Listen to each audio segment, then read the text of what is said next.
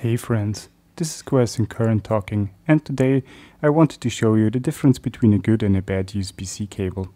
I bought both of those cables in their respective online stores and one of them already says on the packaging what it can do. It's a USB 4 cable with a maximum um, power delivery of 240 watts via the USB power delivery version 3.1 a data transmission of up to 40 gigabits per second, and if you want to use it as a display cable, it can do 8K resolution at 60 Hz frame rate. The second cable was advertised as a regular USB cable with no um, noticeable features, besides um, it being able to handle USB 2 speeds. So now let's unpack both of them and take a look at what's inside. Uh, the USB 4 cable is half a meter nominal length and I'm going to believe that it's going to be this. And you can already see that it's quite thick and there's going to uh, be a lot of copper below the, the PVC insulation. This cable, sorry for the noise, um, is a lot thinner and if we compare those two um, to each other, and I'm going to focus on that, you can see that there's going to be a lot less copper or whatever they used as a conductor inside. And after unpacking them, we can see that we can basically not determine which cable is better and, and which cable is worse after um, removing the packaging itself. So besides the thickness and what we can feel from the cable, we cannot, cannot determine if this cable can charge our laptop or this cable can charge our laptop or if it's good for an external hard drive or not or whatever other um, use cases you have. You basically have to try it out. And this is why I brought in this BLE Caberqu um, USB-C cable tester. And if we plug it in, then it will immediately tell us that we should plug in a cable. Before doing so, um, I wanted to go in about the fact that this USB 4 cable is going to have an active um, electronics inside, some active electronics and active eMarker chip, um, that's how it's called. And so it's going to be able to communicate itself and tell about some, some details about itself and communicate with the device that it is connected to, being cable tester, being your phone, being your laptop, being your charger, doesn't matter. It can actually um, tell itself um, apart from this cable. If you don't know what an eMarker is, then I've made a video about that and I'm going to link it up below somewhere here. Just press on it and, and take a look and come back once you've updated yourself. This standard USB 2 cable is not going to have that. So we will first start by testing that one.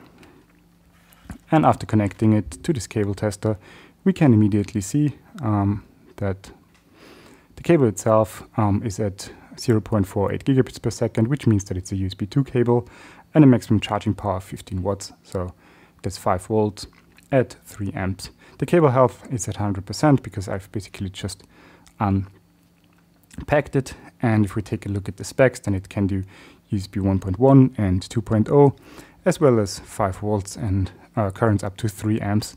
That's due to the cable resistance and the fact that it has to be rated um, at this current. The USB connector is going to look quite bleak. We can see that the ground connections are made, the V-bus connections, and in addition to that, uh, there is the D plus and D minus pin from the USB 2, as well as one of the CC pins to be able to advertise itself um, as a power source or power sink, depending on what you connect it to. And if we go into the details sections, then we can see what pins are actually connected and the available options as well as the V-bus resistance. And we can also see that there is actually no eMarker inside. So all the eMarker infos are going to be empty. Just the USB 2 speed um, is showing up due to the fact that the pins themselves are connected. With this in mind, uh, we now know that the cable itself cannot be used with, for example, USB 4 devices or USB 3 devices. It will not be able to actually charge my laptop or my phone um, very quickly. And if we want to connect it to an external hard drive or something similar, then it may or may not work, or um, even worse, may work in a degraded state, depending on what device you connect it to. Now, if we compare it to this cable, and we're also going to connect it and take a look at the values that are coming out of it, we can see that this cable um, advertised itself as a USB 4 cable. That's uh, how we can see that the 40 gigabits per second that the packaging said, and the 250 watts the packaging said. 240 watts, if we compare it, um, is actually um, good. And the cable health again is going to be 100% due to the cable resistance and every parameter of the cable um, being quite new. Uh, if we take a look at the specs, now we can go up to USB 4 speeds, but it's also, also uh, backwards compatible, which is quite good if we have a device that's not capable of doing USB 4 or USB 3 speeds. And we can do debug accessory mode as well. Due to the fact that it's a 240 or 250 watts cable, um, it has to support all the voltages from 5 volts to 48 volts and all the currents from 0.5 amps to 5 amp fully. And if we take a, a look at the connector, now basically all of those connections are lit only those two are not. This is due to the fact that no, none of these USB-C connectors, if you take a look at it, will have all of the connections made for backwards compatibility with the USB 2 standard. So you can easily create an adapter with USB-C to USB-A or USB-C to micro USB with those two connections in place uh, without having to look for, for them or having only one orientation of the connector being possible to plug it in. And if you go into the details, then you can see all the pins that are connected and the actual resistance that it has measured. And now we can see inside the eMarker that the cable has advertised itself as a passive cable with an eMarker chip inside.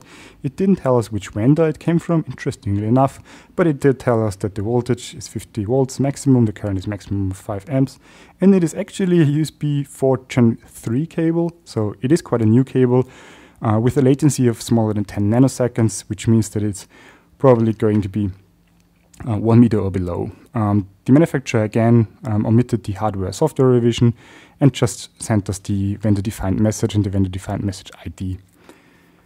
With this in mind, we now know that even though both of those cables look quite similar, and you could use both of them to connect your phone or other devices to a charger or to each other only one of them is actually going to work in the ways you want, want them to work. And this one is only going to work with slower devices that only need USB 2 or below or can charge um, anything at or below 15 watts. If you have any more questions, just put them in the comments below and thanks for watching.